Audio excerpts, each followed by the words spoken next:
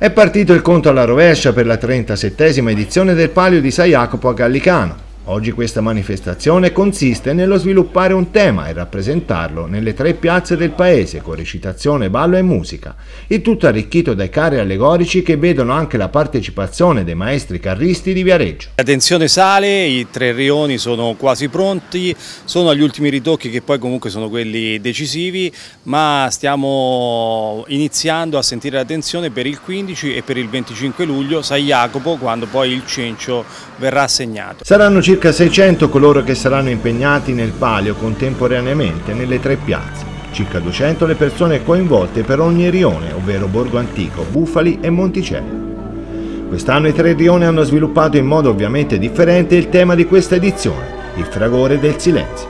Il nostro spettacolo parte raccontando la storia di cricket, il grillo parlante, ed è stato raccontato attraverso un musical attraverso immagini, eh, coreografie e scenografie, ma attraverso la voce degli attori che canteranno delle canzoni che non sono originali ma con eh, una storia originale. Abbiamo deciso di rappresentare un tema molto attuale e importante che è appunto quello del, della malattia mentale, in particolare del, del manicomio. Il nostro tema parte da due idee principali. La prima è la spirale del silenzio è la teoria che spiega come i mass media ehm, influenzano il nostro pensiero e il pensiero dell'opinione pubblica. Appuntamento quindi a sabato prossimo alle 21 quando Gallicano saluterà il ritorno del Palio dopo 5 anni di assenza.